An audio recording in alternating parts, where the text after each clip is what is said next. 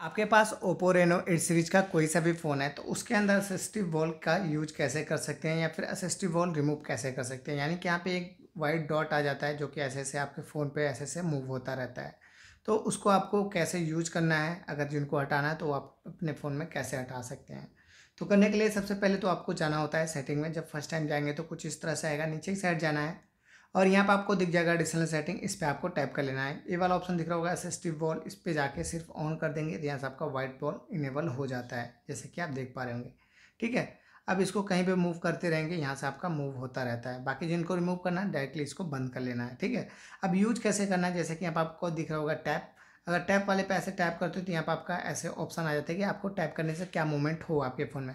बाकी गेस्टर वाले पे टैप करोगे तो यहाँ पे आपका ऐसे गेस्टर पे सेट करना पड़ता है। जैसे कि टैप करने पे क्या हो, एक बार में टैप करोगे तो बैक हो जाएगा। डबल टैप करोगे तो रिसेंट बटन खुलेगी, जैसे कि यहाँ पे आपका ऐसे खुल जाएगा। ठीक है, बाकी टैप टू होल्ड करोगे, यहाँ पे ऐसे टैप करके होल्ड करोगे तो होम बटन पर आ जाओगे। तो यहाँ पर आपको जाना है, ऐसे आपको सेट कर लेना होता है। बाकी ये आपका होता है ट्रांसपेरेंसी, आपको कितना रखना है, ऐसे आपको सेलेक्ट कर लेना होता है। ठीक है कि आपको डार्क रखना है या फिर लाइट रखना है। बाकी यहाँ पर आपका हाइड इन फुल स्क्रीन तो इसको आप इनेबल कर दोगे। इससे क्या होता है कि अगर आपके फ़ोन में अगर ये यूज़ नहीं हो रहा था ऑटोमेटिकली आपके फ़ोन के अंदर ये हाइड हो जाता है। तो इस तरह से आप इसका यूज़ कर लेंगे। बाकी टैप पे करेंगे तो टैप पे नॉर्मल ऐसे ही रहता है। यहाँ पर आप देख लेंगे। बाकी यहाँ से आपको जो भी सेट करना है, यहाँ से डायरेक्टली आप अपने फ़ोन में कर सकते हो। तो अगर वीडियो अच्छी लगेगी तो लाइक, कमेंट, शेयर, सब्सक्राइब कीजिएगा। मिलते हैं नेक्स्ट वीडियो तब तक के लिए बाय